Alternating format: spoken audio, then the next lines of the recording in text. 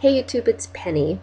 Um, so I just recorded a, a, video where I talked about a, a verse um, in Isaiah about good and evil, and um, I wanted to bring you this kind of as a, a part two um, to that video in a sense. So on May 19th, I heard the words sea salt, bromine.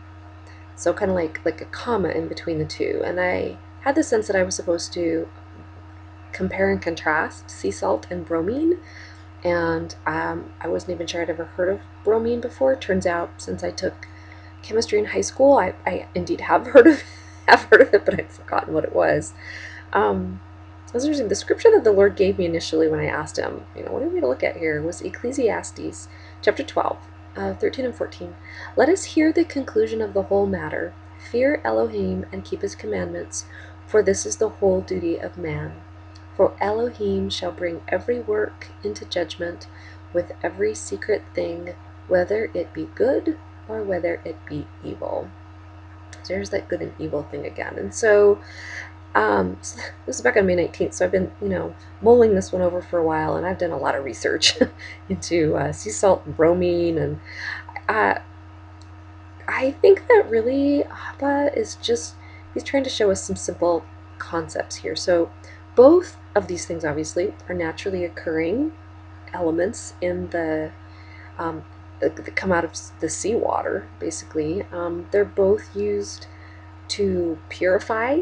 Um, so, like, there are saltwater pools, um, and then there are also, you know, pools that are cleaned with um, bromine or, or, chlorine. It's a, a, form of that. It bromine actually smells um, like chlorine or iodine, and it's um, kind of a red color and uh, it's very caustic to the skin but we also know that sea salt can be. I mean if you've been to the Dead Sea um, you know that um, it'll burn your skin if you don't you know take a freshwater shower right afterward. Um, so uh, as I looked at I mean bromine is uh, can be used as a fire retardant but uh, so can salt. I mean and that's probably why because it's a kind of like a form of salt.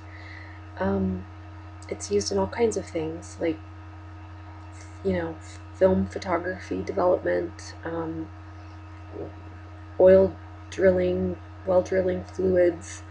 Um, it's interesting because the, the two countries in the world, the two leading countries for um, mining bromine are the United States and Israel. Um, there's a expensive purple dye that was known initially in ancient civilizations that was produced from an organic bromine compound secreted from a sea mussel known as a murex. Um, and so that's why purple was became like known as this royal color because it was really expensive and difficult to extract.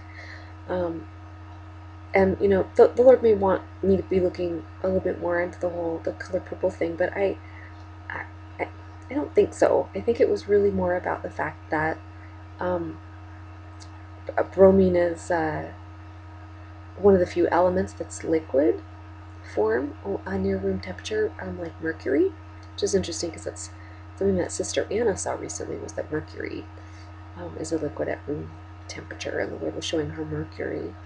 So, um, I think really though, it, it's just, a, it comes down to the fact that, once again, Father is showing us that it's going to be difficult to distinguish between good and evil. It's going to get harder and harder.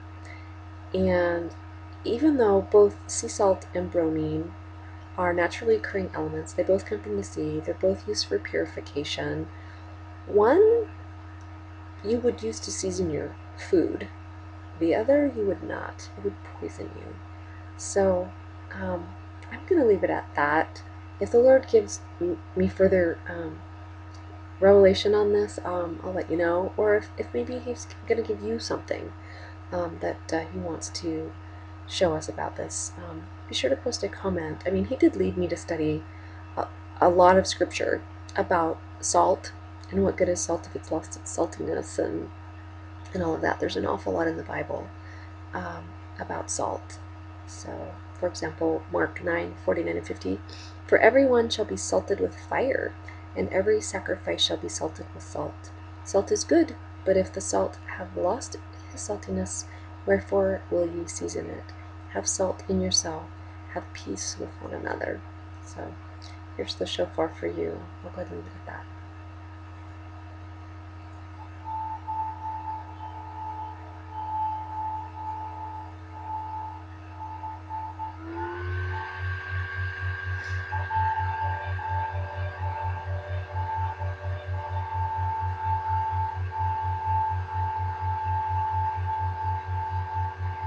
Baruch atah Adonai Eloheinu melech haolam. Blessed are you, our Lord God, King of the universe. Amen.